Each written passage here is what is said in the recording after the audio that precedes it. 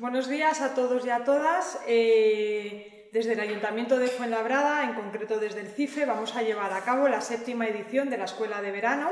En esta ocasión, la Escuela de Verano va eh, dirigida a las empresas que quieran mejorar la imagen y las redes sociales que son imprescindibles para el desarrollo de la actividad. En esta ocasión eh, la escuela de verano va a durar 15 días en un formato online debido a la crisis COVID-19. Hemos tenido que adaptarnos a esta nueva normalidad.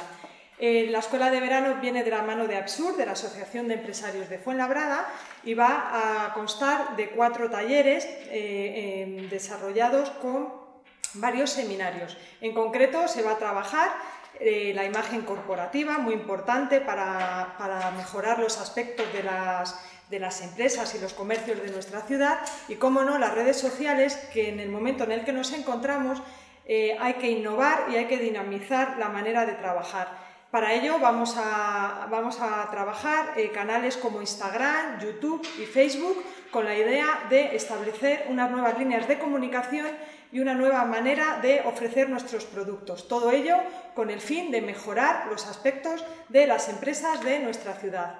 Bienvenidos a la séptima edición de la Escuela de Verano y espero que la disfrutáis.